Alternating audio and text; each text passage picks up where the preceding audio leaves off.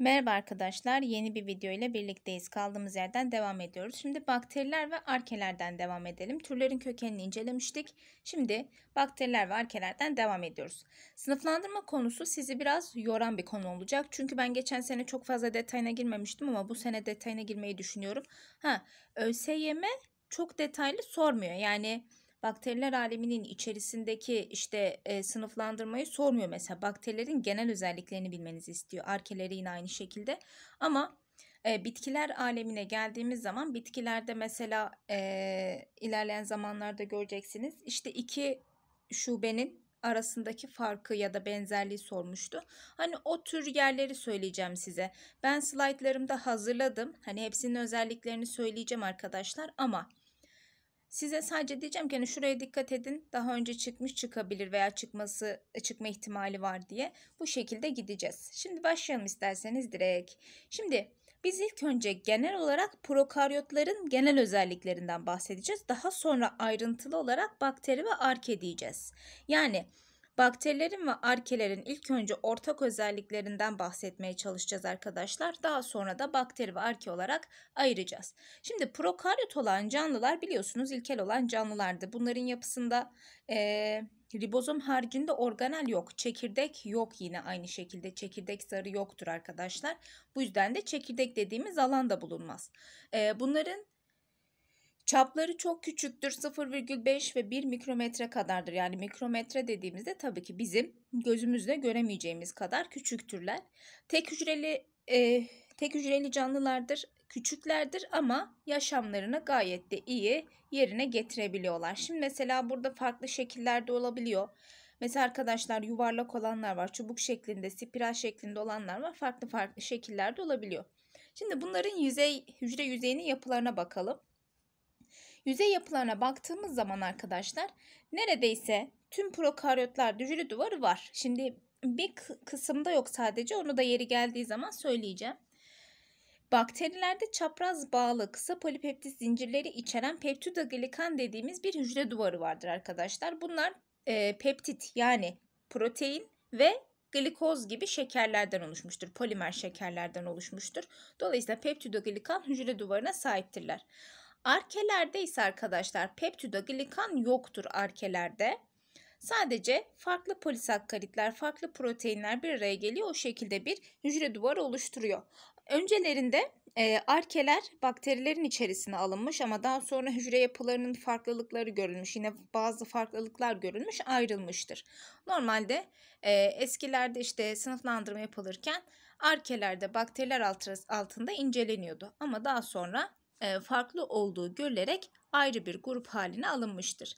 Arkadaşlar gram boyama dediğimiz bir teknik vardır. Bu teknikle bakteriler işte boyanarak e, iki grupta incelenebiliyor. Biri gram pozitif bakteriler, diğeri de gram negatif bakteriler.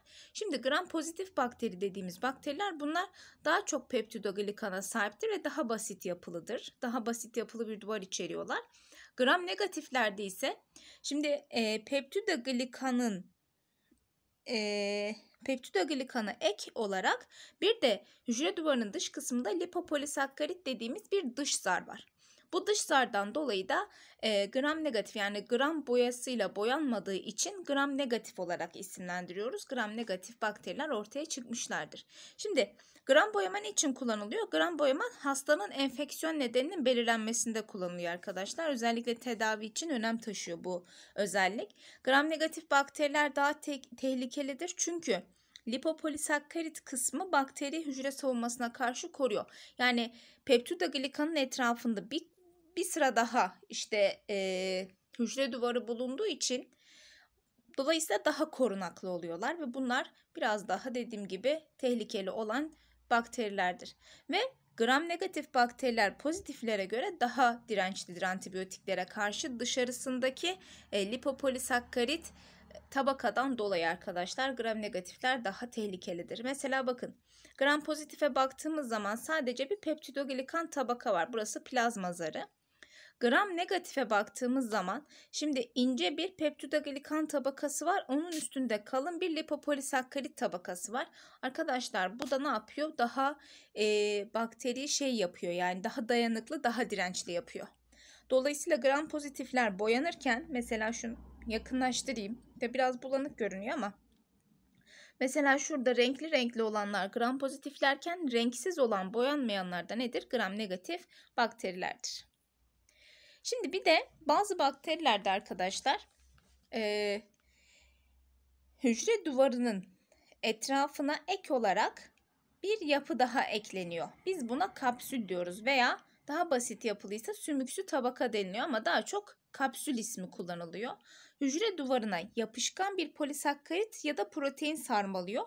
Bu yapıya arkadaşlar kapsül ismini veriyoruz. Kapsül bakteriyi daha da dirençli hale getiriyor. Yani bir de bu tabaka yapışkan yapılı olduğu için kolonideki diğer fertlere tutunmasını sağlıyor ya da substratlara tutunmasını sağlıyor. Yani mesela bir bakteri gelip de işte bizi enfekte edecekse gelip bize yapışmasını, tutunmasını kapsül sağlıyor arkadaşlar.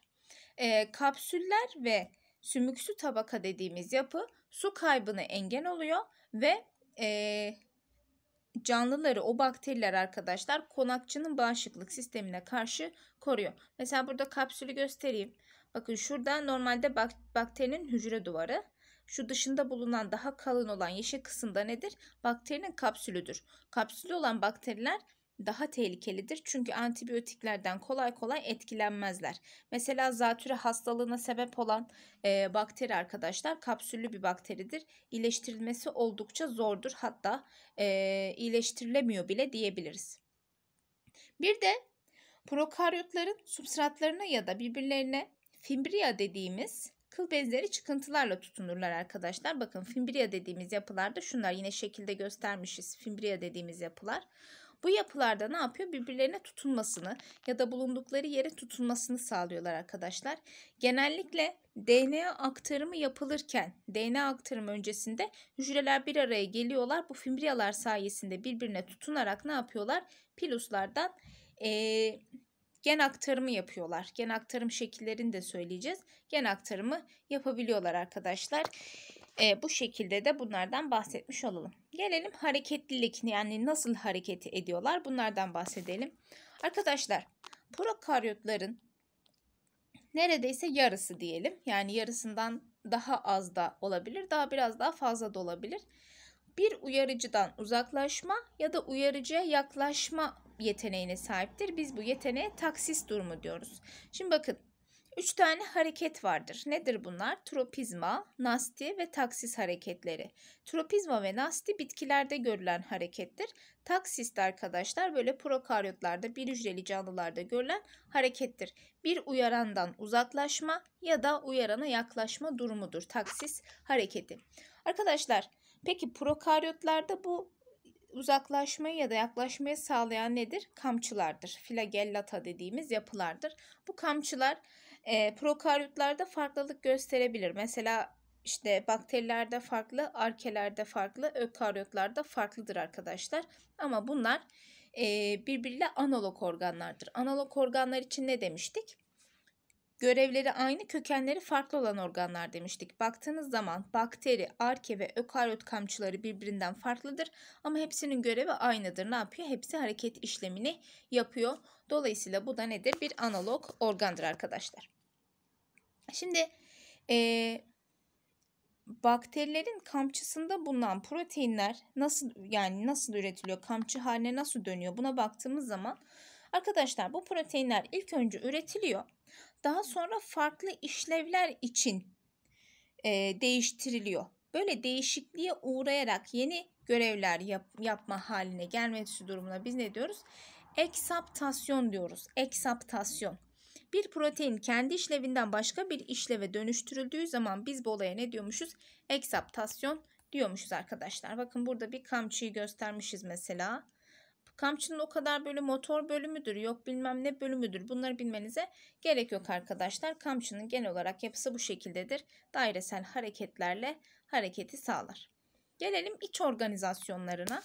Arkadaşlar, e, prokaryotlar dediğim gibi hani e, sitoplazmasında fazla bir şey yok zaten. Organel olarak bir ribozom var. DNA'sı sitoplazmada dağınık olarak bulunuyor. Sitoplazmanın merkezinde bulunuyor bu, bu arada. Merkezinde bulunduğu bölgeye biz nükleoid dediğimiz bölgedir arkadaşlar. Çekirdek zarı olmadığı için hani zarla çevrili bir çekirdek olmadığı için kromozomların DNA'nın bulunduğu bölgeye ne diyormuşuz? Nükleoid dediğimiz bölgeymiş arkadaşlar. Bazı prokaryotlarda da tek bir kromozoma ek olarak plazmit dediğimiz e, halkasal DNA'lar vardır. Bunlar da arkadaşlar küçük DNA parçalarıdır. Birkaç tane gen içerir. Özellikle bunlar konjugasyonda işte transformasyon, e, transdüksiyon gibi olaylarda özellikle iş görür arkadaşlar. Mesela kromozomları şudur. Gerçek kromozomlar ama plazmit dediğimiz yapılar bakın daha küçük yapılardır. Bu plazmitler dediğim gibi konjugasyonda, transformasyon gibi olaylarda oldukça önemli iş yaparlar. Gelelim üremesine ve adaptasyonuna. Şimdi prokaryotlar uygun koşul olduğu zaman hızlı üreme yeteneğine sahiptirler. E, ikiye bölünme yoluyla arkadaşlar 20 dakika ile 3 saat arasındaki gibi bir zamanla bölünebilirler. Mesela bizim bağırsaklarımızda yaşayan ve bize dost olan bir bakteri var. Escherichia coli. Escherichia coli e, bağırsaklarımızda yaşar ve yaklaşık 20 dakikada bir bölünür arkadaşlar. Bu 20 dakikada bir bölünmesi sayesinde işte e, günler içerisinde binlerce popülasyon oluşturabiliyor. Ama tabii ki bunu engelleyen, sınırlayan şeyler vardır. Hani e, çok fazla bölünmesi de istenmez sonuçta üremesi. Dolayısıyla ortamda bunu engelleyen şeyler vardır. Nedir bu engeller? Mesela besin kaynakları hızla tükenir. Metabolik atıklarla kendilerini zehirleyebilirler. Yine başka mikroorganizmaların rekabetiyle karşılaşırlar ya da onlar tarafından yenilirler arkadaşlar. Böylece e, çoğalmaları sınırlı bir şekilde tutulmuş olur. Escherichia coli ile ilgili şunu söylemek istiyorum. Bizim bağırsağımızda dediğim gibi e, çok fazla bakteri var. E, sayısını yanlış hatırlamıyorsam 1 milyon kadar diyorlardı herhalde ama hani abartmış da olmayayım ama o kadar vardı yanlış hatırlamıyorsam. E, tür olarak diyorum tabii çeşit olarak. E, bu bakteriler içerisinde en önemlisi neden bu? Çünkü birçok olayı bu gerçekleştiriyor arkadaşlar. Dolayısıyla oldukça da önemli bir bakteri. Bizim bir hocamız vardı şey derdi işte heykeli dikilecek bir bakteri varsa o da Escherichia coli'dir. Hani heykelini dikmeleri lazım falan oldukça bizim için faydalı olan bir bakteridir.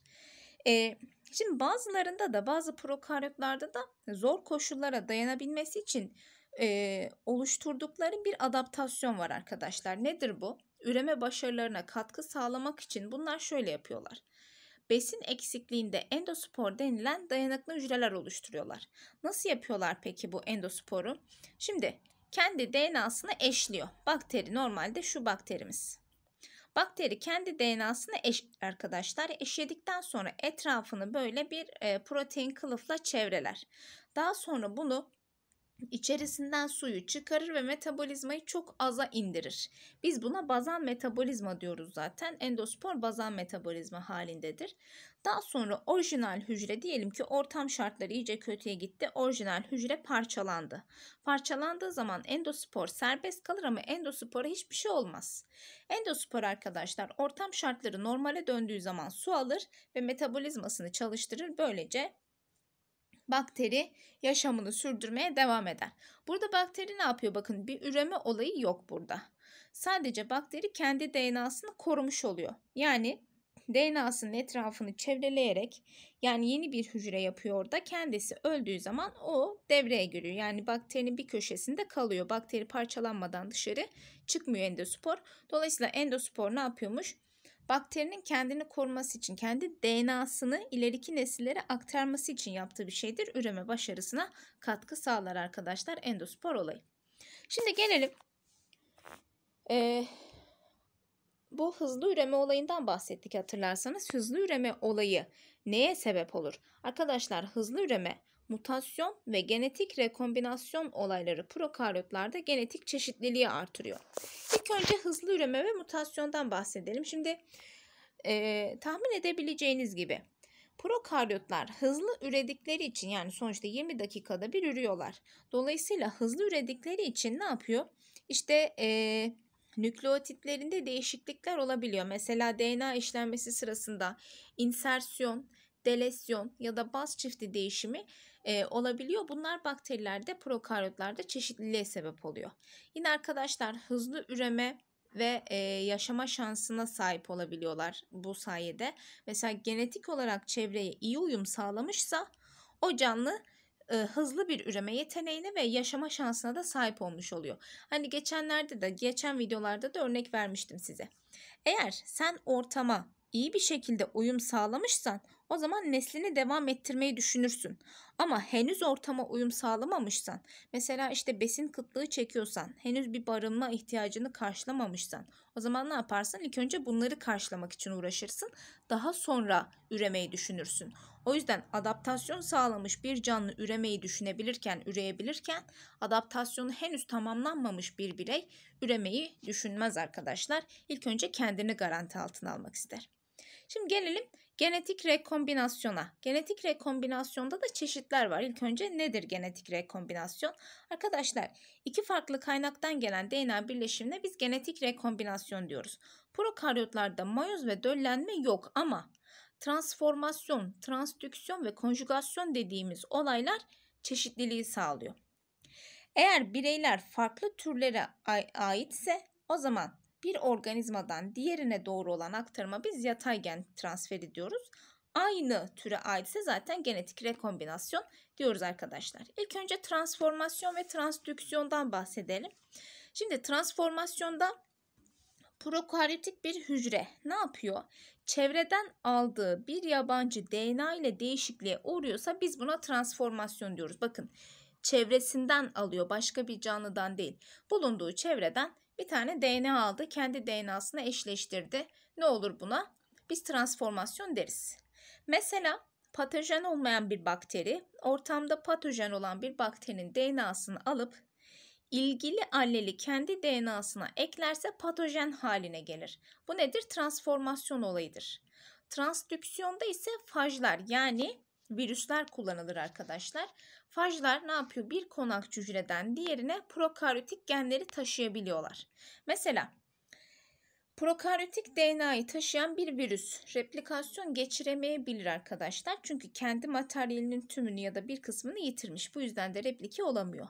Bu yüzden de virüs işte ilk hücreden aldığı DNA'yı ne yapıyor? Konağa enjekte ederek onun yeni bir DNA'ya sahip olmasını sağlayabilir. Buna da biz ne diyoruz zaten? Transdüksiyon olayı diyoruz. Evet baktığınız zaman burada mesela virüs ne yapıyor bakın. DNA'sını aktarıyor. Bu DNA nereye giriyor arkadaşlar? Normalde e, buradaki kendi bakterinin DNA'sına aktarılıyor ve şurada yeni virüsler oluşup ortaya çıkıyor. Bu normal bir fajın üremesi. Ama şu şuradaki bakın buna dikkat ederseniz bu ne yapmış? Bu e, kendi DNA'sını çoğaltamayacak hale gelmiş. Çünkü bir kısmını yitirmiş. Dolayısıyla geliyor arkadaşlar kendi içerisinde bulunan DNA'yı bakteriye veriyor. Bakteriye verdiği zaman bu bakteri ilgili alleli kendisine ekliyor ve rekombinant bir bakteri ortaya çıkmış oluyor. Böylece transdüksiyon olayı ortaya çıkmış oluyor arkadaşlar. Gelelim konjugasyondan bahsedelim. Konjugasyon nedir? Geçici olarak bağlantı kurmuş iki tane prokaryot var. Bu prokaryotlar arasında gerçekleşen hücre hücreler arasında gerçekleşen DNA aktarımına biz konjugasyon diyoruz. Arkadaşlar genellikle bu hücreler aynı türe ait hücrelerdir ve DNA aktarımı her zaman tek yönlüdür bakterilerde. DNA aktarımı yani konjugasyon tek yönlüdür. Konjugasyonda e, DNA aktarım yeteneği F faktörü denilen özel bir DNA parçacığından kaynaklanıyor. Bu yüzden de zaten biz bu e, plazmit olanlara F plazmiti diyoruz. Eğer F plazmiti içeren bir hücre varsa bunu F artı olarak gösteriyoruz. Alan bir hücre varsa yani plazmit içermeyen bir hücre varsa bunu da F eksi olarak gösteriyoruz. İki hücre arasında sitoplazmik bir köprü kurulur. Bakın şöyle köprü kuruluyor. Daha sonra bu köprüden arkadaşlar e, plazmit aktarılır. Her iki bakteri de bakın burada plazmite sahip oldular. Buna biz konjugasyon diyoruz. Bir de şöyle bir olay olabiliyor. Bir patojenin kromozomal genindeki bir mutasyon dirençliliğe yol açabiliyor. Bu direnç geni de R plazmitleriyle diğer bakterilere aktarılabiliyor arkadaşlar. Yine ondan da bahsetmiş olalım, söylemiş olalım. Evet şimdi gelelim beslenme şekillerine ve metabolik adaptasyonlarına. Arkadaşlar Şimdi oksijenin metabolizmadaki rolünden bahsedeceğiz. Oksijen durumuna baktığımız zaman biz e, prokaryotları üçe ayırıyoruz. Zorunlu aeroblar yani hücresel solunum için oksijeni mutlaka kullanmak zorundadırlar. Eksikliğinde gelişemiyorlar. Zorunlu anaeroblar vardır. Bunlar oksijenden zehirlenenlerdir. Bunlar oksijen yokluğunda üreyebilirler. Oksijen varlığında ölürler arkadaşlar. Bunlar ne yapıyorlar? Sadece fermentasyonla yaşayabiliyorlar ya da elektron taşıma sisteminde son elektron alıcısı olarak oksijen hariç azot ya da sülfat kullanarak işte oksijensiz solunum yapabiliyorlar. Şimdi biz ben size hatırlayın hücresel solunumu anlatırken bir oksijenli solunumdan bahsetmiştim. Bir de oksijensiz solunumdan bahsetmiştim. Oksijensiz solunum ikiye ayrılır. Biri fermentasyondur. Fermentasyon, diğeri de normal oksijensiz solunum olarak geçer arkadaşlar. Fermentasyonda ETS kullanılmaz.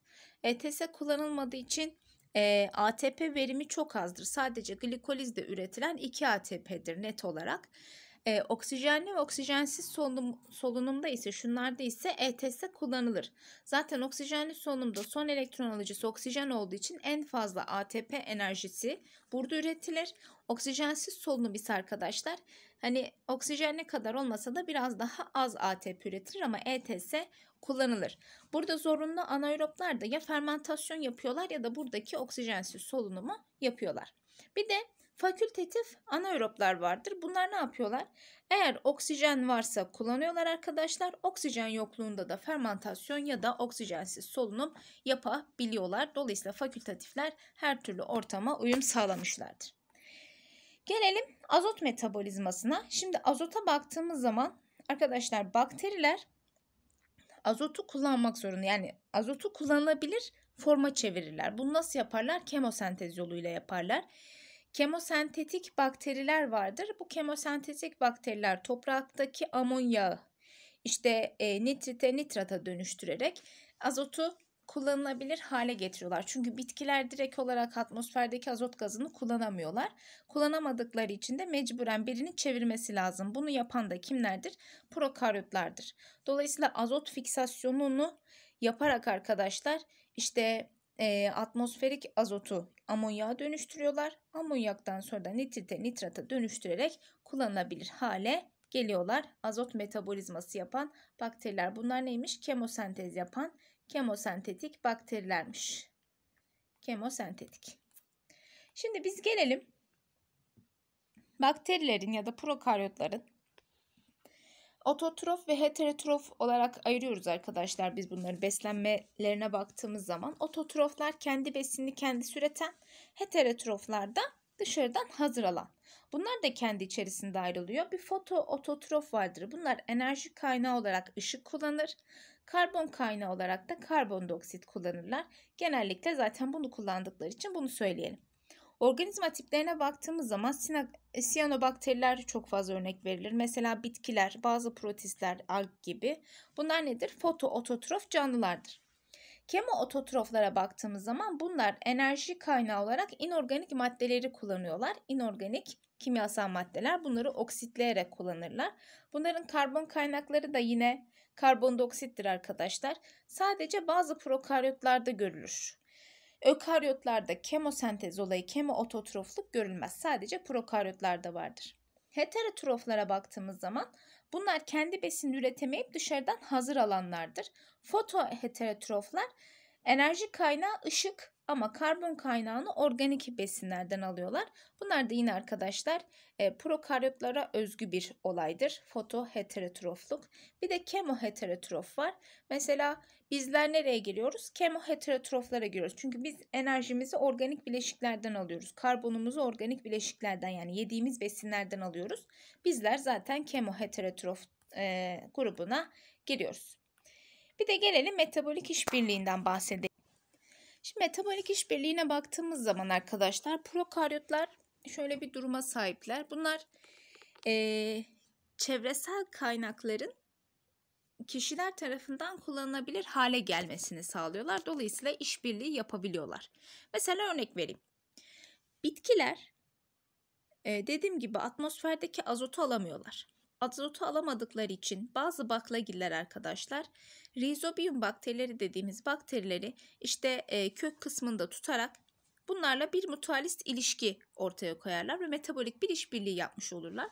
Bu metabolik işbirliği sonucunda işte Rhizobium bakterileri baklagiller için azot bağlar toprağa Bitki de ne yapar? İşte fotosentez ürünlerinden bakteriye verir. Böylece karşılıklı bir ilişki yaşamış olurlar. Yani ikisi de fayda gören bir ilişki yaşamış olurlar.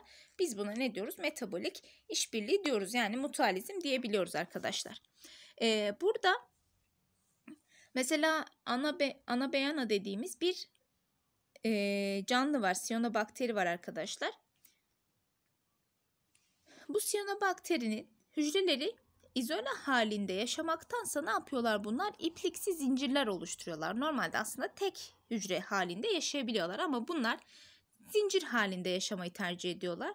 Zincir halinde yaşarken bunların hücreleri birçoğu fotosentez yaparken heterosist dediğimiz özelleşmiş olan türleri sadece azot bağlar. Azot tespit eder. Azot tespit etmek demek azot bağlamak demek. Böylece her heterosist komşu hücrelerine ne veriyor? Azot veriyor arkadaşlar. Bu sayede de azotu karşılamış oluyorlar. Ee, hücreler arasındaki bağlantılar sayesinde komşu hücrelere azotu göndermiş oluyorlar. Bu da nedir? Yine metabolik işbirliğidir. Yani bu metabolik işbirliği bir bakteriyle diğer bakteri arasında da olabilir aynı tür içerisinde veya bir türle bir bakteriyle başka bir tür arasında da olabilir arkadaşlar. Metabolik işbirliği bu şekilde yürütülüyor. Şimdi gelelim artık sınıflandırılma kısmına hani genel özelliklerinden bahsettik. İlk önce arkelerden bahsedelim daha sonra da bakterilerden bahsedelim. Arkadaşlar arkelerin bazı özellikleri ökaryotlara benziyor bazı özellikleri de bakterilere benziyor. Şimdi e, mesela çekirdek bulundurmaması, ribozom bulundurması e, bunlar kime benziyor bu özelliği? Prokaryotlardan bakterilere benziyor ama işte kromozomunun etrafının e, şeyle e, histon proteinleriyle proteinle sarılması arkadaşlar ökaryotlara benzer bir özelliğidir. Yani ikisi arasında kaldığı için zaten ayrı bir domain olarak açılmıştır arkea domaini. Şimdi arkeler zor koşullarda yaşayabildikleri için biz bunlara ekstremofil diyoruz. Yani ekstrem koşullarda yaşayabiliyorlar. Mesela ekstrem halofiller. Bunlar arkadaşlar işte ölü deniz, büyük tuz gölü, tuz, tuz gölü gibi konuşamadım. Tuz gölü gibi yüksek tuz yoğunluğuna sahip yerlerde yaşıyorlar. Ekstrem termofiller bakın termofil sıcak demektir. Çok sıcak ortamlarda yaşıyorlar arkadaşlar. Mesela bir cinsteki bakteri 90 derece sıcaklıkta yaşayabiliyor. Mesela metano, metajonen e, konuşam metanojenler vardır. Konuşamadım yine. Bunlar da e, kendilerine enerji üretirken ortama metan salıyorlar. Ve metanojenler oksijenden zehirleniyorlar arkadaşlar. Bu yüzden de oksijenin olmadığı yerlerde yaşıyor. Mesela sığır, termit ve diğer uççuların bağırsaklarında yaşayabiliyorlar. Bakteri, e, bataklıklarda yine yaşayabiliyorlar. Ve atık suların ayrıştırılmasında da oldukça önemlidir metanojenler. Arkelerle ilgili bilmemiz gerekenler bunlar yeterlidir. Gelelim bakterilere. Arkadaşlar bakterilerin de birçoğu var. Yani e, prokaryotlara baktığımız zaman zaten çoğu bakteriler alemi içerisinde. Ama biz bakterilerle ilgili hani çok fazla bir şey bilmenize gerek yok. Dediğim gibi en başta anlattığım o genel özellikleri bilin. Bir de işte e, isim verildiği zaman hani bakteri grubuna ait olduğunu bilin yeterlidir bence. Mesela Proteobacteria. Bu nedir? Gram negatif bir bakteriymiş arkadaşlar. Şurada resmini koymuşuz kemoototrof, fotoototrof ve heterotrofları varmış.